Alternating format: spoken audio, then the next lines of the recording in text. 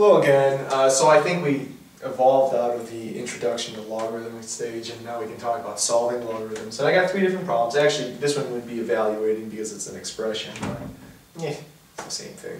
Well, it's not, but yeah, you can treat it like it is. And I got three different problems here. And we're going to start from left to right and see how to do this.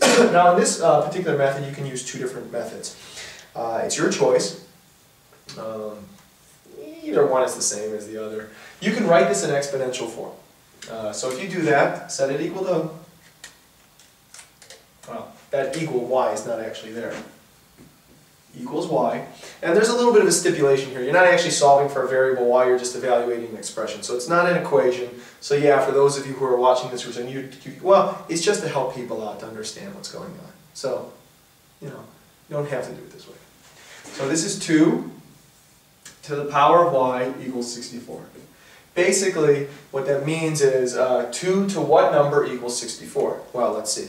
Uh, 2 times 1, uh, sorry, 2 to the first is 2, 2 to the second is 4, 2 to the third is 8, 2 to the fourth is 16, 2 to the fifth is uh, 32, 2 to the sixth is 64. Let's just make sure. 4, 8, 16, 32. Yes. So the answer to this one is 6. It's not actually y equals 6 because there was no y to solve for in the first place, but it just helps students to figure that out. Uh, there's another way to do this, and you can use it with the inverse properties of logs. Uh, I think that the exponential way is actually easier, but uh, staying consistent with what we're supposed to do. Log base 2, and what you do is you simplify the number 64. Uh, what can you write it as? And you can write it as 2 to the 6th, and using the inverse property of logs, like, oh, I got log base 2, and I got that same uh, number as a base uh, to some uh, stranded exponent. Bam! They're the same, answer 6. So two different ways to do the same problem. Uh, what you would do to split 64 is use uh, factor trees, that's 8 and 8, 4 and 2, 2 and 2, so, and then the other 8 is 4 and 2, 2 and 2, so it's 2 to the power of 6, there's 6 twos. Two different ways to do it, your choice. And of course my students ask me, well what's the best way to do it? And I say the simple answer. Whichever way is easier for you to do is the way you should do it. Well, how do you, how do you put that on tests, or how do you put that on books?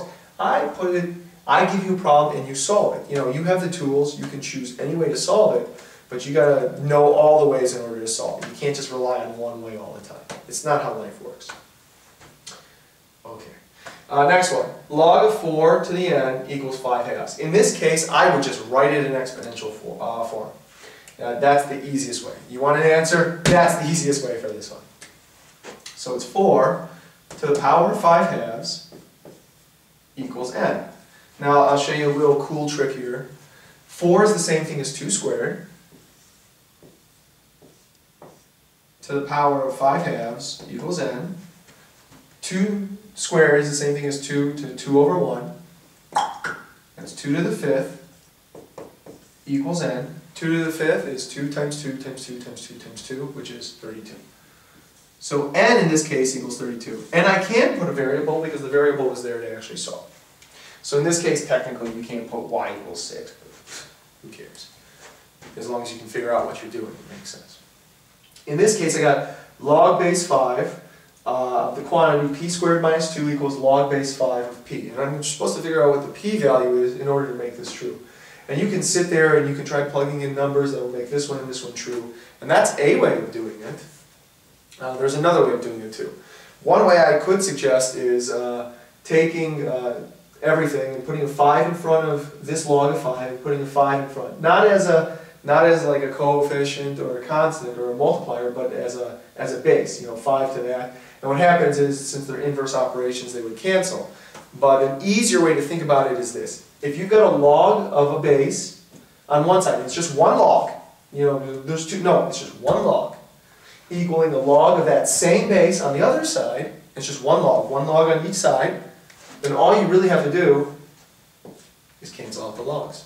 Now that's only if they're the same base and there's one on each side. You can't do that if there's if there's two log base 5s here and there's one log base 5. No, that doesn't work. Uh, if there's one log base 5 and one log base 5 on each side, and those are the only logs, then you can do that. So uh, from there, we'll go ahead and solve this. p squared minus 2 equals p. And what I want to do is solve this, and I can solve it by factoring. So that's what I'm going to do. I'm going to subtract p on both sides. That marker's gone.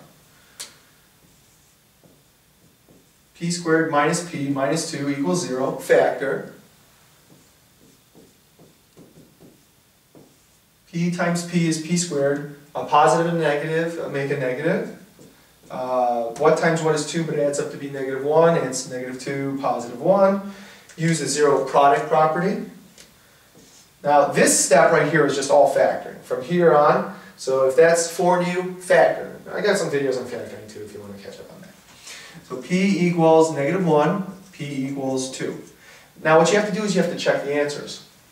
And basically your x value has got to be greater than 0. Uh, this value right here has to be greater than 0. It can't be negative. Well, let's see what happens. If I put in 2, it's 2 squared minus 2. Oh, I'm sorry, 2 squared, whew, saying the wrong thing. 2 squared is 4. 4 minus 2 is 2. Checks out. My x is uh, greater than 0. If I go ahead and do that here, it's 2. Whew, story checks out. No problem so far. If I plug in negative 1, negative 1 squared is 1 minus 2 is negative 1, negative 1. Now they're equivalent, but your value can't be negative here. Your x value, this is technically your x value, your input value, it can't be negative. So this solution is extraneous, arbitrary, trivial, capricious, whatever you want to say, and this is the solution that works. Uh, this is not a solution, basically, is what I'm trying to say. So there you go. P equals 2, n equals 32, and this one just uh, simplifies to 6 because technically there's no variable. So that's our uh, solving logarithms. We're going to start using properties and see how to do that. Uh, students aren't really big fans of it, but eh, just going to have to buy into it and see how it goes. Other than that, have a good day for now.